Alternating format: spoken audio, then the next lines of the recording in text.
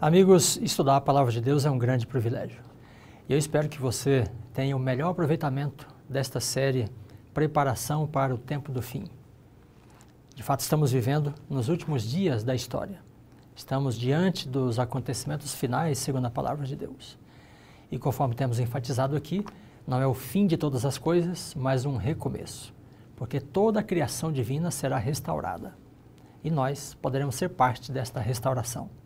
Através de Cristo, por meio de Cristo, pela Sua palavra, nós temos acesso à graça de Deus e poderemos, com Ele, ter um novo começo, um novo início, quando Ele retornar. O tema desta semana: Enganos do tempo do fim. Ninguém gosta de ser enganado.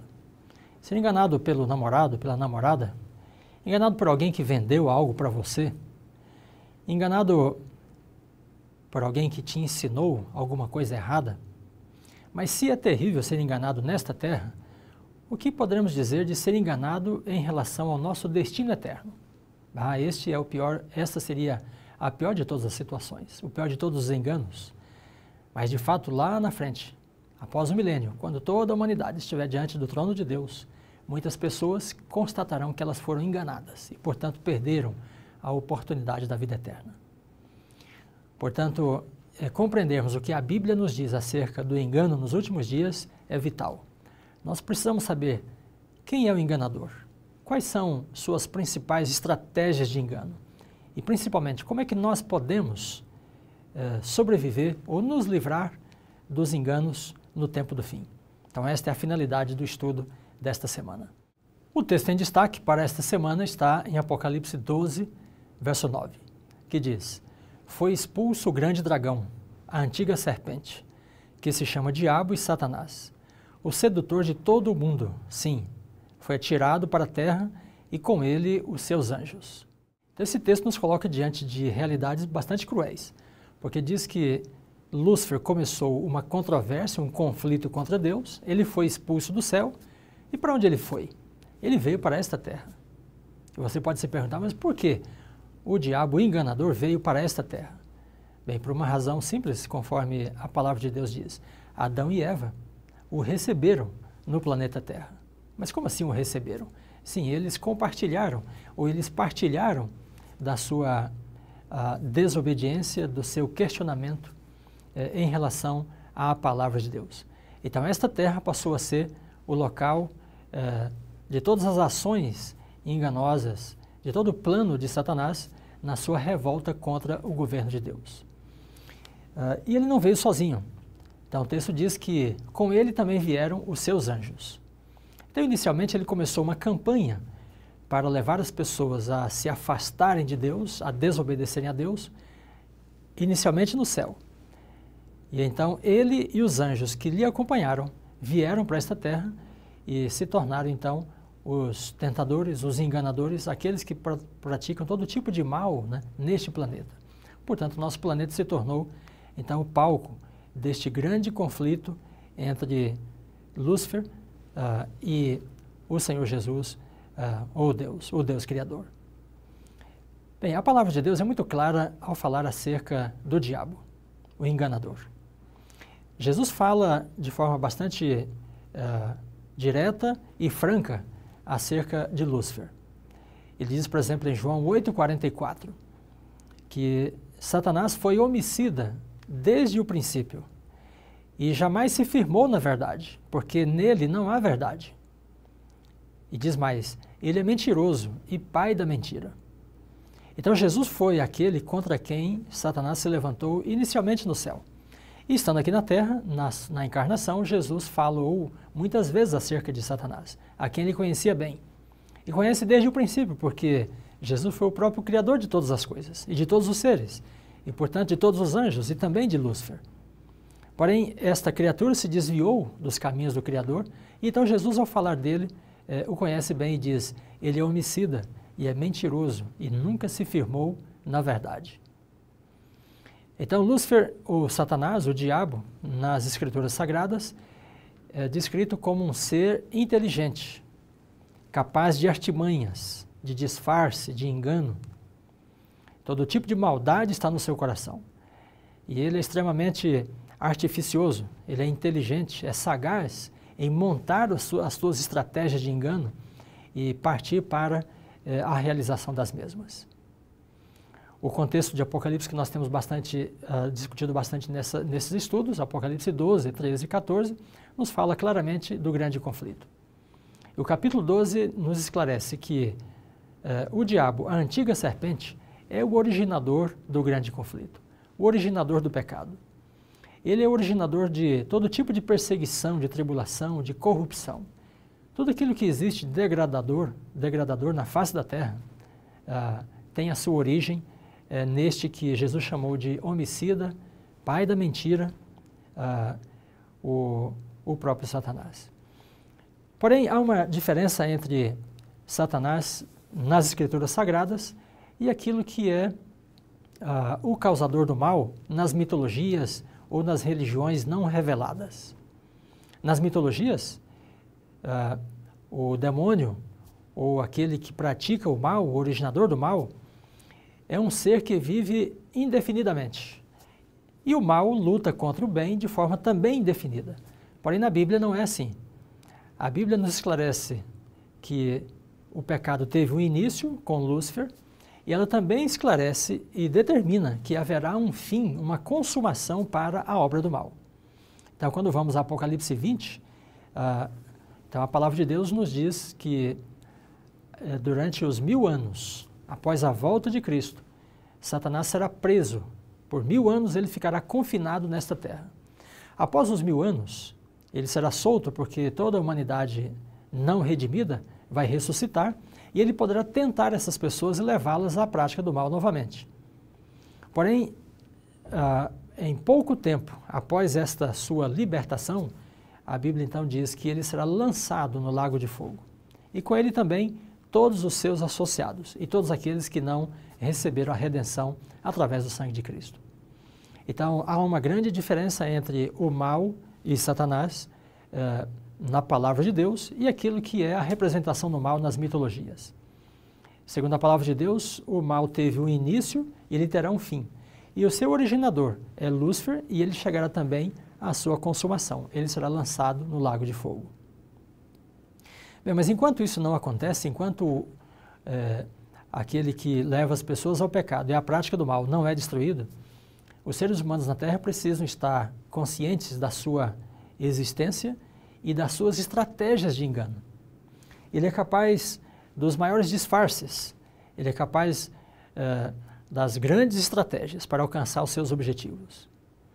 E por incrível que pareça, uma das grandes estratégias dele é exatamente uh, levar as pessoas a acreditar que ele de fato não existe. Sim, esta é uma das suas estratégias. Porque se as pessoas acharem que ele não existe, se elas pensarem que ele é apenas uma figura mitológica, folclórica, então ele estará livre para dar, uh, para dar curso às suas ações e para cumprir uh, os seus propósitos. Então nós precisamos estar preparados para o fato de que uma das suas grandes estratégias é exatamente tentar levar as pessoas a acreditarem que ele não existe. Porém, a Bíblia é muito clara, afirma a sua existência e a sua ação no planeta Terra. Uma das obras-primas do engano satânico é exatamente a contrafação. Sim, o disfarce, imitação ou contrafação é uma das coisas mais repetidas por Satanás. Por exemplo, se vamos a Gênesis, capítulo 3, versículo 1, quando temos o primeiro pecado, a primeira desobediência na terra, parte de Eva, Eva é abordada pela serpente. Então o texto bíblico diz assim: a serpente, mais sagaz de todos os animais, disse a Eva: É assim que Deus disse? Não comereis de toda a árvore do jardim? Nesta narrativa, então, nós temos Satanás utilizando a serpente como uma espécie de disfarce. Então, a Bíblia diz que a serpente era mais sagaz, ah, há aqueles também que dizem que ela era muito bela. Então, Satanás utilizou eh, este, este ser, esse animal, para através dele comunicar-se com Eva. Então nós temos aí em Gênesis 3 uma primeira sessão de mediunidade, em que um espírito possui eh, um ser, e nesse caso, eh, um ser irracional.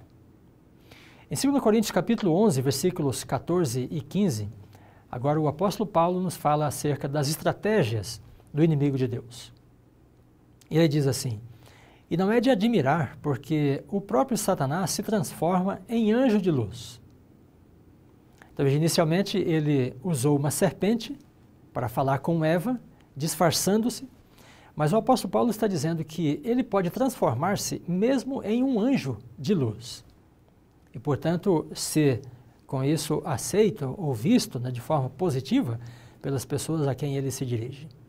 Depois Paulo diz: E não é muito, pois os seus ministros, os seus próprios ministros, se transformam em ministros de justiça.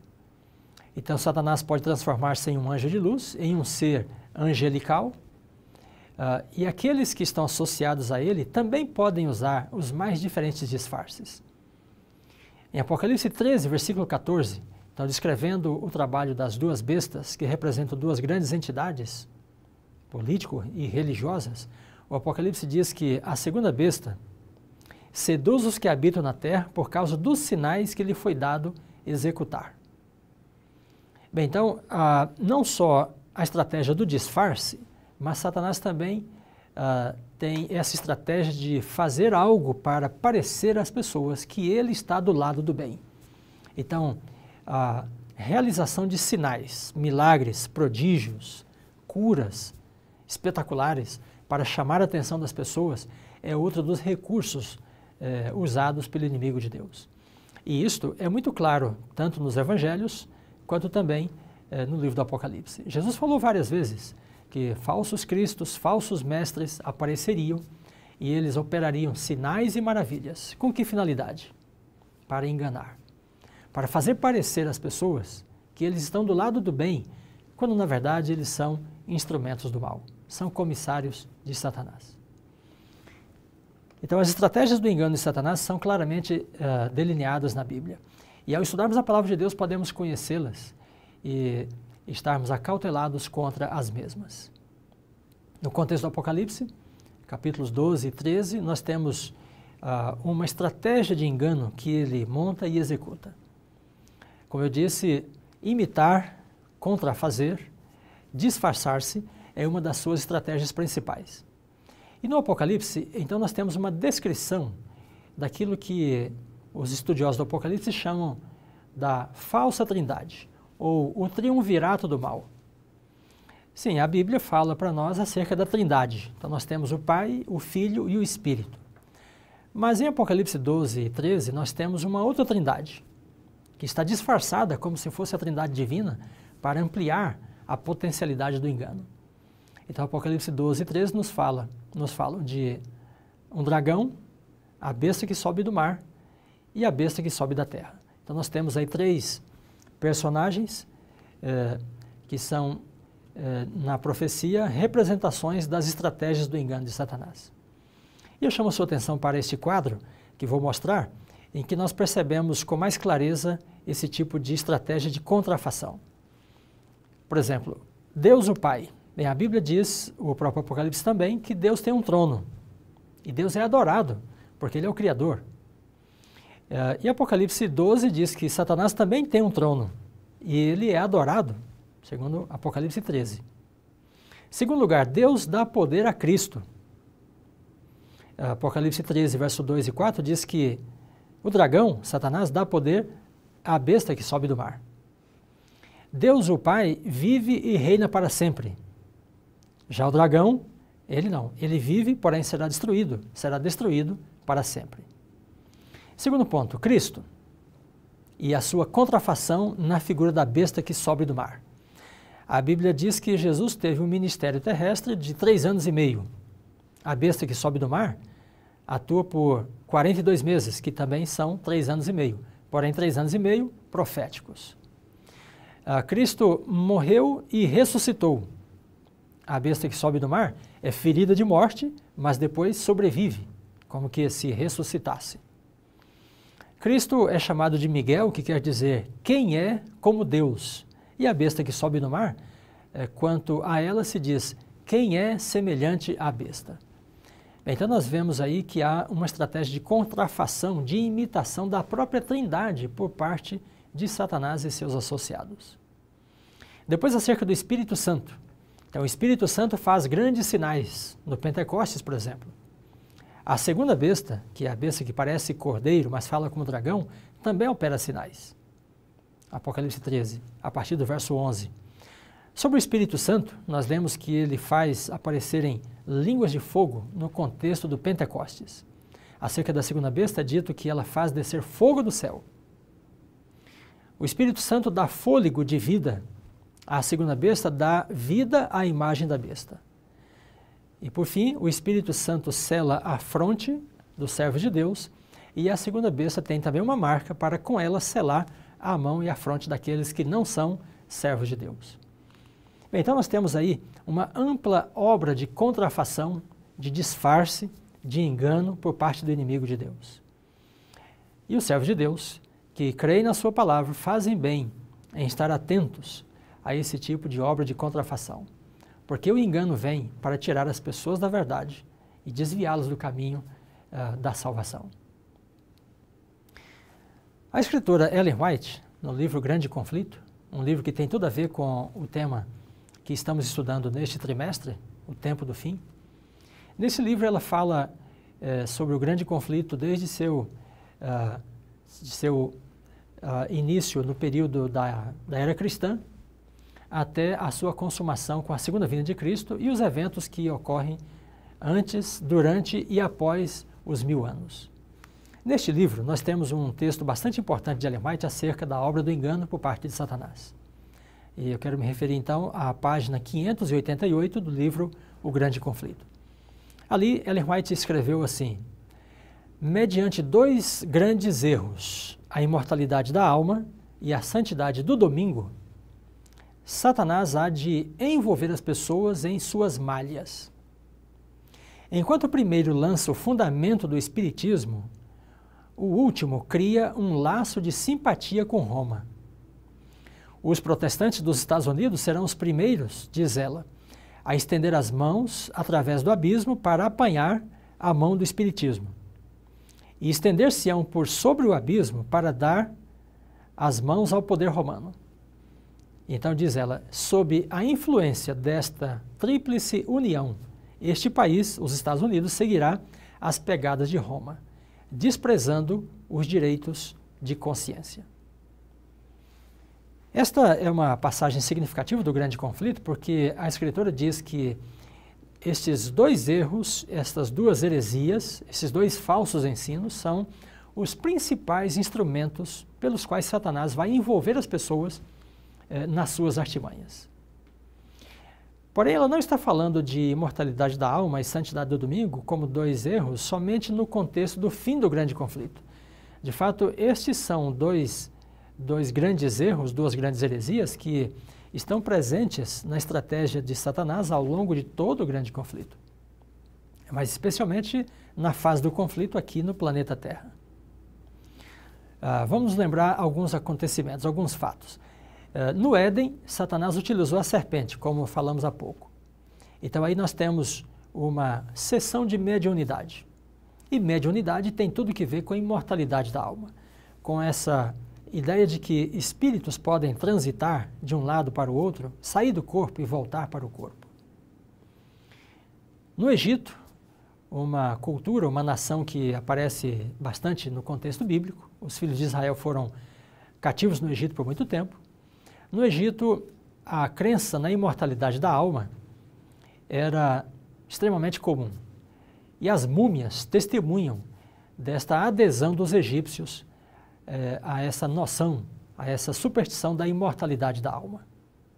Na Grécia, também a imortalidade da alma era eh, uma crença, uma superstição bastante comum. Nós podemos falar de Platão, que era um adepto desta crença de que o ser humano tem um corpo, porém a sua essência está mesmo na sua alma, e a alma pode viver independentemente do corpo.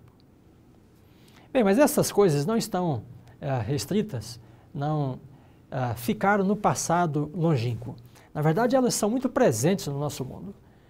A crença, a ideia de que nós temos um espírito ou uma alma que pode viver fora do corpo é bastante comum no nosso tempo. Isso está presente nos filmes, está presente nas novelas, nos romances. uh, muitas minisséries. E mediunidade, as chamadas viagens astrais, as experiências de quase morte, com a sigla EQM, espíritos guia, bruxas, vampiros, zumbis, orixás, são todos estes eh, personagens e experiências comuns no tempo em que vivemos. Vivemos, portanto, em um tempo em que a imortalidade da alma é uma heresia, uma crença, é um erro e uma estratégia de engano extremamente comum e popular. E as pessoas estão envolvidas por estas coisas. Bem, mas eu preciso dizer que, apesar de toda essa popularidade, de todas essas práticas, e de tantas religiões que recomendam e que ensinam estas práticas, a palavra de Deus é muito clara. E Jesus afirmou categoricamente uh, em João 5, 28 e 29, e ele diz assim: Não vos maravilheis disto, porque vem a hora em que todos os que se acham nos túmulos ouvirão a sua voz e sairão. Os que tiverem feito bem, para a ressurreição da vida, e os que tiverem praticado mal, para a ressurreição do juízo. Então, o Senhor Jesus está dizendo neste texto que os que morreram estão aonde? Estão no túmulo, estão nas suas sepulturas. Vamos segundo. Vou voltar. Então, o que está dizendo o Senhor Jesus neste texto? Ele afirma que os que morreram estão em seus túmulos, estão na sepultura, e dali não sairão antes que ele venha e ele mesmo dê ordem. E ele diz: Aqueles que fizeram o bem ressuscitarão para a ressurreição da vida, aqueles que praticaram o mal para a ressurreição do juízo. Então, a morte é um estado de inconsciência. A Bíblia é muito clara acerca desse ponto. Aqueles que morreram não podem se comunicar com os que estão vivo, vivos. Aqueles que morreram não têm conhecimento daquilo que acontece na face da terra. Eles só retornarão à sua consciência quando ressuscitarem pela autoridade e pela determinação divina. Enquanto isso, os que morreram, corpo e alma e espírito e mente e coração, a consciência deles está inteiramente entregue ao esquecimento. Portanto, a imortalidade da alma é uma superstição. Não é exatamente uma crença, é uma superstição. Porém, apesar disto, é, é espalhada, está é, difundida por todas as culturas e, na verdade, ao longo da história humana. Então, esta é, segundo Ellen White, é, uma das duas principais armas do engano de Satanás. Fazer as pessoas acreditarem que elas têm um espírito ou uma alma que, é, que, se, que possa ser imortal. Esta, na verdade, é também uma superstição, uh, uma noção né, que está ligada à ideia de evolução. Porque preconiza o espiritismo, uh, o espiritualismo, que o ser humano é passível de desenvolvimento, de evoluir-se ao contrário daquilo que a palavra de Deus diz, que o ser humano foi criado perfeito, mas entrou numa, é, numa uma marcha decadente para a corrupção. Bem, e quanto ao segundo engano é, de Satanás, segundo o texto de Ellen White? Ela diz que a santidade do domingo é, então, uma das grandes armas do diabo. Isto está em, absoluto, em absoluta oposição ao que diz a palavra de Deus, porque conforme nós lemos já nesta série, a terra é chamada neste contexto a adorar o Criador. Então diz, aquele que fez o céu, o mar e a terra e as fontes das águas. E ao usar esta linguagem, a palavra de Deus chama a nossa atenção para o quarto mandamento, eh, a, que fala sobre a santidade do sábado. Porém, Satanás tem uma outra proposta ele traz a santidade do domingo. E nós devemos reconhecer que o domingo, como um dia de guarda, como um dia especial da semana, em lugar do sábado, na verdade não é uma novidade no mundo cristão ou na era cristã. De fato, todos os grandes impérios foram adoradores do sol e em alguns, de, alguns deles houve eh, uma distinção em relação ao dia do domingo como um dia de culto, dia de, dia de adoração. Por exemplo, se vamos para a cultura do Antigo Egito, podemos encontrar algumas, algumas obras, alguns achados da arqueologia que atestam acerca da, do culto do sol por parte dos antigos egípcios. Esta, eh, esta obra, por exemplo, eh, nos mostra aqui neste desenho um culto, uma reverência eh, ao sol como uma espécie de Deus. E os raios solares são como se fossem bênçãos sendo derramadas sobre as pessoas que o adoram. Então, o Antigo Egito era uma cultura em que o culto ao sol era popular. Nessa segunda imagem, nós temos também ah, um retrato da cultura egípcia e a adoração ao sol. Então, eu disse que os grandes impérios, as grandes culturas foram adoradoras ou adoradores do sol. Além do Egito, nós também temos achados arqueológicos que atestam o culto do sol na Assíria. Este império que eh, dominou boa parte do mundo do Mediterrâneo após o domínio egípcio. Então, os assírios também tinham é, uma certa reverência para com o sol como uma espécie de divindade. Depois dos assírios, nós podemos também falar dos romanos. Sim, os romanos também eram adoradores do sol. Em muitas comunidades em Roma, ou do Império Romano, havia o culto do sol como uma espécie de divindade. E estas uh, imagens dão conta deste reconhecimento de uma reverência para com o Sol, o astro, como uma espécie de Deus. Eu quero dizer também que a imagem principal da Eucaristia, como temos aqui, não é casualmente que ela retoma essa ideia do Sol e dos raios solares. Porque o catolicismo romano, que nasceu do Império Romano, também tem uh, um culto do Sol. E por causa da popularidade do Sol, ou do culto do Sol uh, em Roma é que o imperador Constantino uh, promulgou um decreto ou um edito para recomendar ou obrigar que os romanos guardassem o que ele chamava de o venerável dia do sol. Então, em 321, no edito de Constantino, em que nós lemos que todos os juízes e todos os habitantes da cidade e todos os mercadores e artífices descansem no venerável dia do sol. Então o Império Romano uh, tinha um culto ao sol. E o Edito de Constantino estabelecia então um dia em que as pessoas poderiam eh, praticar esse culto. Os cristãos foram envolvidos eh, por esse edito, na verdade já havia uma prática de guarda do domingo por parte dos cristãos, porém Constantino, que era um adorador do sol, aproveitou-se da questão da crença eh, dos cristãos de que a ressurreição determinava o primeiro dia da semana como dia de guarda, e então aí houve uma confluência entre essas práticas pagãs de adoração ao sol e de veneração pelo dia do sol eh, e a prática cristã de guarda do domingo em homenagem à ressurreição. Bem, e, e nestas questões nós percebemos aí uma, contraria, uma contrafação daquilo que é o dia de guarda bíblico, o sábado, para colocar em seu lugar, então, o dia do sol, o dia do domingo. Bem, o que falar ah, de culturas mais recentes? Será que o dia do sol, a santidade do domingo, eh, está mais próximo de nós?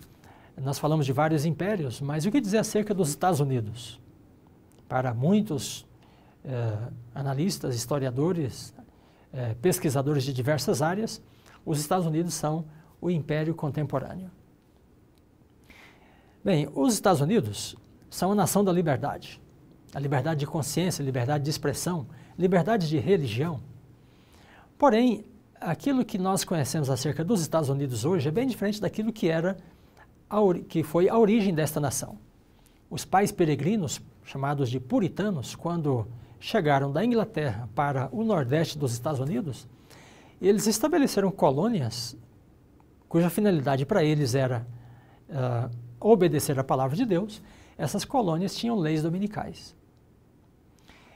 E as pessoas eram inclusive perseguidas e podiam ser até condenadas por transgredirem o, o preceito do domingo.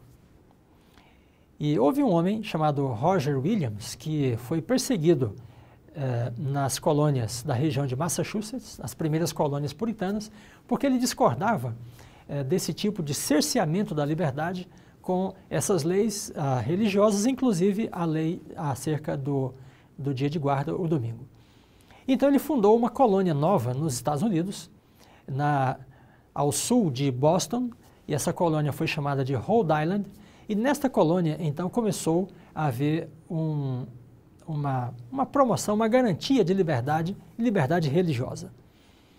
Então, a cultura americana que uh, promove a liberdade religiosa, como conhecemos hoje, vem mais da influência desta colonização de Rhode Island por parte de Roger Williams do que mesmo dos puritanos. Por causa dos puritanos, muitos estados americanos tiveram leis dominicais. E na verdade elas existem até hoje, porém deixaram, uh, perderam a sua vigência por causa de jurisprudência que se acumulou ao longo do tempo. Se você deseja conhecer um pouco melhor sobre as questões relacionadas com os Estados Unidos, santidade do domingo e mesmo culto do sol, não deixe de buscar o livro A Day Apart. Este é um livro é, extremamente importante de um jornalista que fala sobre o dia de guarda é, em diversas culturas e reservou uma boa parte do seu material para tratar acerca do, do domingo, a santidade, a veneração do domingo por parte dos puritanos de origem britânica e a colonização dos Estados Unidos. Se leis dominicais eram comuns na origem da nação americana, a previsão bíblica e também feita no livro Grande Conflito de que esta nação vai seguir as pegadas de Roma em cercear a liberdade de consciência não é algo para é, ser considerado assim é, tão impopular.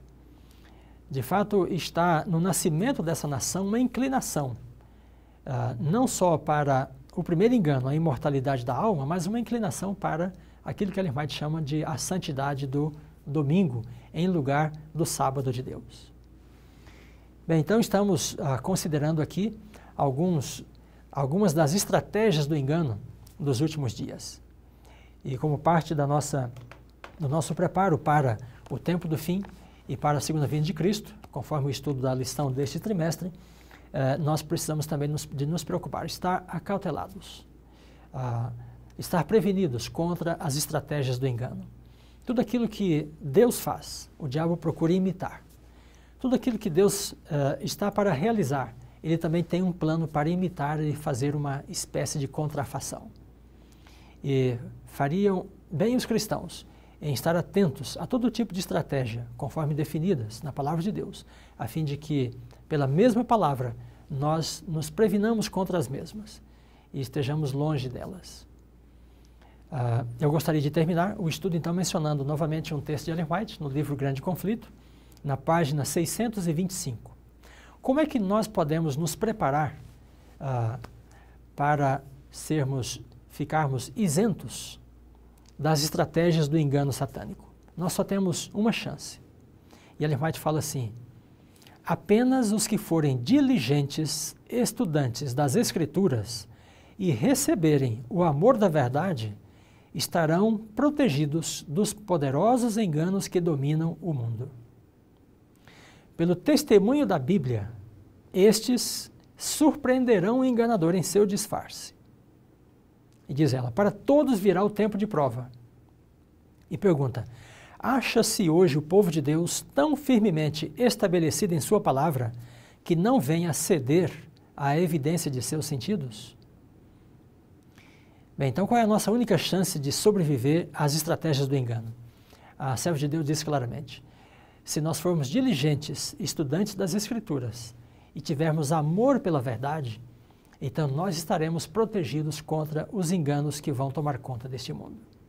O amor da verdade é aquela atitude do cristão que não descansa, não se conforma até que ele tenha a convicção daquilo que é certo, daquilo que é verdadeiro, daquilo que é o que Deus quer. O amor da verdade é algo que precisa estar em nosso coração. Por amor à verdade, nós sacrificamos tempo, nós sacrificamos prioridades para buscar aquilo que é a luz da palavra de Deus. Que o amor da verdade conquiste o seu coração e que você seja um diligente estudante da palavra de Deus, porque este é o caminho para nos protegermos contra os enganos no tempo do fim. Que Deus te abençoe.